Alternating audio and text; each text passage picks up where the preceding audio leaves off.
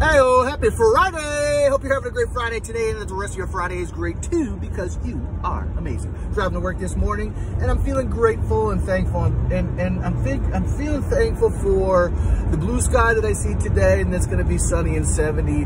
I'm thankful for people that see me and that I see them and uh, smile and wave and have a chit chat. Uh, I'm thankful for a whole host of things.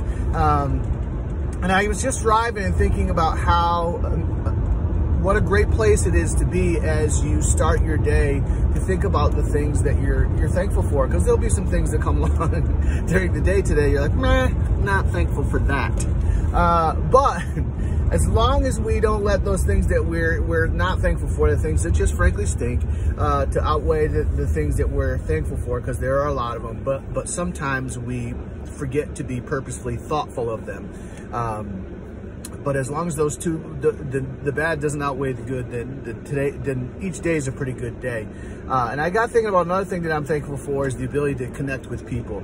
Uh, and yesterday I was uh, watching, it was the senior senior game, the girls senior game at Scotia, and I went to uh, cheer Micah's girlfriend, Isabella, uh, as she played her her senior night game. And, and um, I was there cheering and watching and, and I was talking to to some people and um, and in the course of talking to people, each one of them was sharing bits and pieces of their life and uh, things that they were glad about and things that they were concerned about.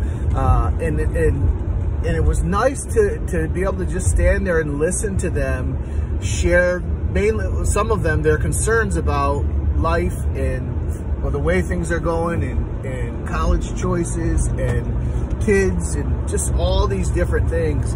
Um, and to, to be in a position to be a listening ear and not have to feel like I am the solver of the their situation. I don't have to solve their situation, but it, it, it adds comfort to people's lives when they have someone, and it doesn't have to be someone they see regularly, just have an opportunity to share how their life's going and what they're concerned about.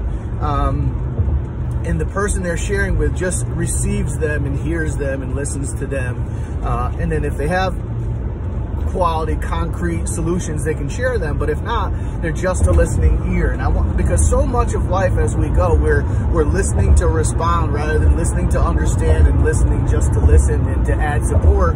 Whether we agree with them or whether we don't agree with them, the things that they're talking about. So so often we want to to just vomit our our opinion when nobody asks for it, and we want to, you know, share what we think when nobody asks asks us what we think. Instead of just being a listening ear that can lend strength to somebody's life and give them an outlet or a release for things that they're concerned about. And sometimes just the the, the act of them sharing out loud what they're dealing with, the solution comes to them from them, or God shares it with them, or or just it, it, becomes apparent in the act of sharing it. And so you can be a help and a support to people, and you don't have to really know much or, or feel like you have to solve it, but you can just be a listening ear. So I hope that helps you. Hope that encourages you, folks. Be a listening ear today. Get out there, gain yards in all you do, and please take care of that mindset, folks, because it matters. I love you. Peace.